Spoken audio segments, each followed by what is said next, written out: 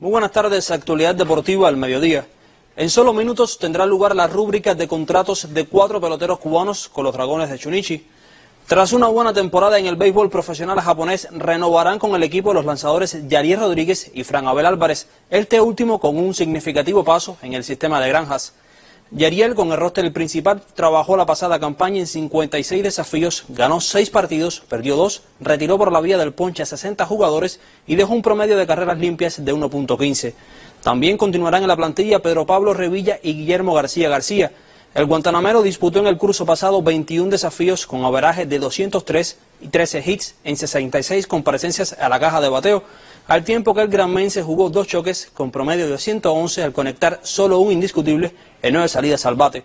También firmará con el conjunto de los dragones de Chunichi como parte del staff de entrenadores Omar Linares.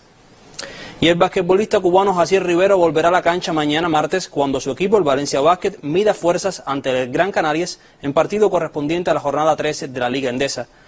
El ala pívot habanero, quien estuvo fuera del tabloncillo durante varias jornadas por una lesión, fue el máximo anotador en la victoria de los Toronjas, 84 cartones por 83 ante el Barcelona el pasado viernes en la Euroliga con 16 puntos, además de capturar un rebote y repartir dos asistencias.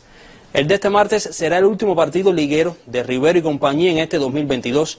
En la liga el Valencia marcha en la novena posición con seis victorias e igual número de derrotas, mientras que el Gran Canarias es segundo con 9 y 3 a solo un juego del todopoderoso Real Madrid. Valencia despedirá el año este jueves ante el Olimpia Milano de Italia en la Euroliga, donde anclan en la oncena posición con balance de siete victorias y ocho reveses. Avanzamos con otras notas. La Asociación Internacional de Boxeo, IVA, respondió en las últimas horas a la amenaza del Comité Olímpico Internacional, el COI, de sacar a ese deporte del programa de los Juegos Olímpicos de París 2024. Reseña el portal digital HIT que el ente rector del boxeo acusó al COI de actuar por razones políticas y de nacionalidad antirrusa, además de señalar el accionar de su expresidente, miembro del COI y de su junta directiva, Chin Kuo-wu Catalogó además de enfoque de divide y vencerás el actuar del COI al tiempo que sentenció que continuarán trabajando en el mejor interés de las federaciones nacionales, atletas y entrenadores de la familia del boxeo. Los Juegos Olímpicos, añadió la IVA, son un bien global que pertenece a los atletas de todos los deportes y no pueden ser una herramienta de extorsión de las federaciones deportivas internacionales por razones puramente políticas, como inaceptablemente está sucediendo ahora.